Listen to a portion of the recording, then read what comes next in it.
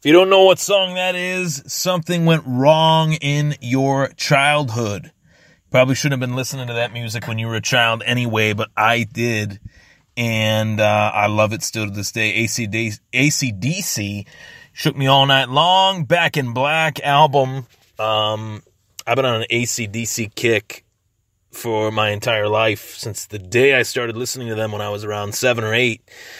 One of my favorite bands of all time, easy. So just some more music on the Thomas Take Sports podcast. Back again, and I kind of preface this statement about this part of the Thomas Take in another part of the Thomas Take today, but I'm going to be talking about a lot of fantasy football uh, topics without giving too much information away. I got a championship that I need to defend. I need to be the first repeat champion in my fantasy football league, the Lockport Fantasy Football League. And uh, this is my third championship I'm coming off of in as many as five uh, seasons. So, very exciting stuff to say that yes, I'm the champ. I'm going to defend my my title. I got the team so far to do it keepers wise, and I want to add to my team and make it as best as possible so I can go undefeated and undisputed in 2017 and win my fourth title in six seasons. But I'm going to give you guys one fantasy tip, okay? One fantasy tip so far in the offseason based on the offseason moves that have been made so far. Um, do not draft Jamaal Charles. Do not draft Marshawn Lynch. And do not draft Adrian Peterson. Because these three veteran running backs post the age of 30 are not what they once were. That's that's a safe assessment. I don't want to count out Adrian Peterson. I'm not saying that these guys are bums, but what I'm saying is there are plenty other alternatives in a fantasy football draft to go after, especially at the running back position. The running back position is one of the deeper positions in fantasy uh, now compared to previous seasons. I don't necessarily like the fits of Adrian Peterson to the Saints. I don't know how that is going to work for his fantasy value. I don't understand the fit of Jamaal Charles in Denver in terms of fantasy value. And of the three, I'm willing to say that the best fit is obviously Marshawn Lynch heading to the Oakland Raiders. Uh, obviously, he wants to play there. He wants to win there. He wants to play well there. Uh, and I think that that is great and everything. That's that's a cute storyline and everything like that. But let's keep in mind he did take a year off. Who knows what he was doing in that year? I don't know if he ever planned on coming back. This could have been a spur of the moment opportunity for him, which I think it was. And Marshawn Lynch might not be in the best shape compared to what he was in with the Seattle Seahawks uh, and the Buffalo Bills. So only time will tell, but in my estimation, I don't anticipate that I, I will take any of these running backs uh, in in Charles, AP, and Lynch. And it and to be honest, you know, two of these three running backs are uh, Actually, all three of these running backs were responsible for past fantasy championships that I have won. Uh, in 2012, with Adrian Peterson and Marshawn Lynch, I had them both on my team. And in 2014, I had Jamaal Charles uh, on my team. So, two championships that I've had out of the three championships that I've won, uh, I had these three running backs uh, on my team. They were great running backs uh, at one point, but there are plenty other alternatives that make more fantasy sense for you than taking a uh, Jamaal Charles, a Adrian Peterson, or a Marshawn Lynch. I'm in a keeper league. I'm in a league that has 10, uh, 10 teams. I'm one of those 10 teams. We have three keepers this year. Uh, and obviously, one of my keepers is going to be Ezekiel Elliott, who was a catalyst for my team that I acquired uh, via trade uh, last season, and I'm going to keep him this year. Very happy about that. And I would not support Ezekiel Elliott, my number one running back, one of the three best running backs in the NFL outside of David Johnson and Le'Veon Bell, just to take a veteran running back too. It would make no sense at all.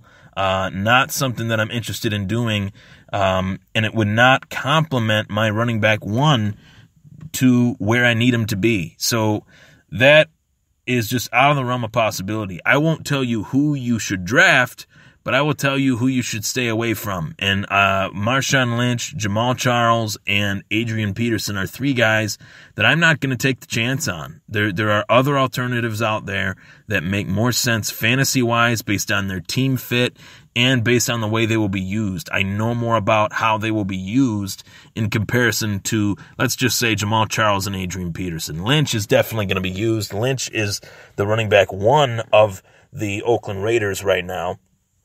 So I, I would I would assume that he's going to be used heavily in comparison to AP and uh, Jamaal Charles. So it's definitely two of these fits just don't make much sense. And one of the fits, I have questions about the shape that Marshawn Lynch will be in heading into uh, the 2017 season. Yes, they call him beast mode and everything like that, but that was when he was playing in succession. He took a year off. I don't know if he's going to be in the, the right shape that he needs to be in for the long haul of the 2017 season. Plus, you have to look at who the Oakland Raiders play. The Raiders play twice a year the best defense in the NFL, in my eyes, in Denver, in the Denver Broncos.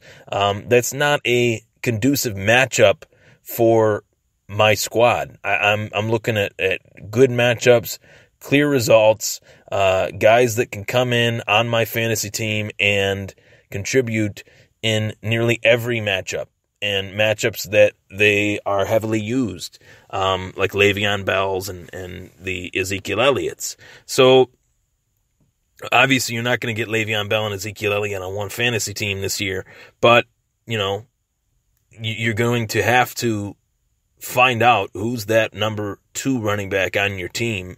Um, one could say that I already know who that running back two is on my team, and that is Jay Ajayi, who I will also be keeping this year. So you want to go over the top. You want to get that third guy possibly in your flex slot, or put a Ajayi in your flex slot and, and put a running back there at running back two. Um, that that is not of a veteran pedigree, a guy that is you know somewhat in his prime, a guy that brings more to the table, and there are so many different players in this year's uh, fantasy draft that I'm looking at right now, and I'm just like, why are they ranked so high? And you know that there's going to be one team that is going to reach for Marshawn Lynch, and it's going to be a huge mistake for them. You know that there's going to be a team that reaches for Adrian Peterson just on name value alone, uh, just to have a shiny name on the on the on the uh, roster sheet. But that's not my way of winning. So um, take it from me, guy that has won three fantasy football championships. I've lost two finals. At least I made it there. Um, and I'm in the championship almost every year. So take it from me. I'm either winning the championship or I'm in the championship. So take it from somebody that knows. Um, you know, last year I was in the MFST league and I was doing really well and then my team just kind of got hurt and imploded. And and there's those situations as well. But I won ten weeks last year in the MFST league, and you know it was it was a very solid season that I had. So there's a lot to build off of there. And uh, take it from me, do not take Jamaal Charles, do not take AP, and do not take Marshawn Lynch. It's not worth the investment. The only one that I would consider putting in an investment on is Marshawn Lynch, and there are other running backs, more than maybe 10 running backs that I would I would rather have than Marshawn Lynch. So take care, guys. That was the quick last edition of the Thomas Take Sports podcast today. Uh, very excited to uh, see the success of this show continue to grow. If you want to follow me, follow me uh, on the Facebook page, the Thomas Take Sports Podcast. You can also follow me on Twitter at Thomas Takeover. Uh, like the Thomas Take Sports Podcast Facebook page and subscribe to the Thomas Take Sports Podcast YouTube channel. Thank you guys and take care. Have a great day.